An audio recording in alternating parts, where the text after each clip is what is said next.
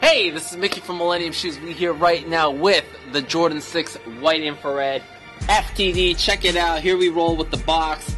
Black face with the red Jumpman. Looking through the bottom, you got the cement print. And then you got a pop over top. Black wrap. Right here, work of art. Beauty. Check this out. Ice bottom, little hit of black, Ice bottom once again on the forefoot, black rounding out that outsole. Go to the midsole, got some white. Infrared above the visible air unit and ice. Once again, that infrared trails right up to the toe bumper. Then you got white all through the upper of the shoe. Typical Jordan 6 perforation in different sizes, a little bit bigger around the ankle, very clean. As you can see, white stitch throughout. White on the laces go up to the toe box white with the white stitch, white neoprene, white laces. Once again, you got that neoprene mid with the infrared Jumpman and the infamous toggle. Beautiful. Love that infrared with that black Jumpman. Fresh. Of course, you got the tongue right here, Air Jordan branded. And then you can see you got those little eye holes to pull the shoe up, kind of like a ski boot. Quick shot of the medial for you similar to the lateral, minus the infrared carrying over on the forefoot.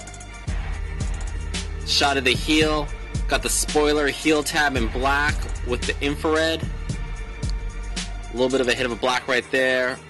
White embroidered Jumpman, air embroidered in white, white and black. Shot of the sole, black with ice, clean, enlarged Jumpman, dope work of art. It's been a minute since we've seen these. Last time these came out, this was actually in the infrared pack with the white and the black a few years ago. And of course, there was the white varsity red version that came out. A lot of people call that the poor man's infrared, if you will, or if they got the two, they call it the poor man's infrared pack.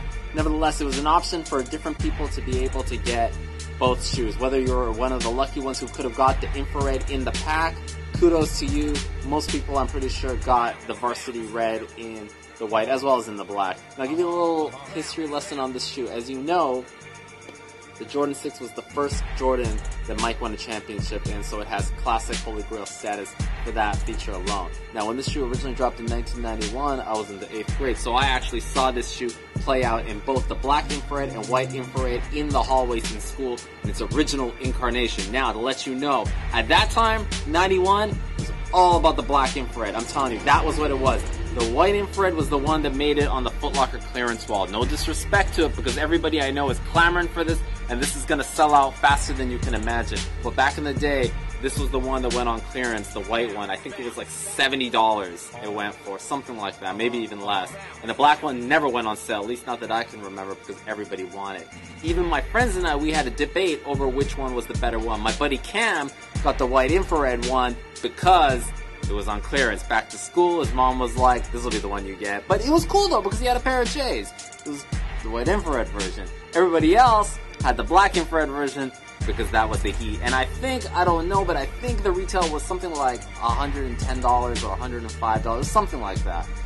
Anyhow, now though, people's direction has changed. They love the black infrared, they still love this, and this actually has a little bit more of perhaps a desired status because we haven't seen this in such a long time outside of that infrared pack that came out a few years ago and that was so limited. So people are going to be feeling and fiending for this. Now I'm telling you right now, I'm fiending for this. This shoe comes on the heels of heavy competition.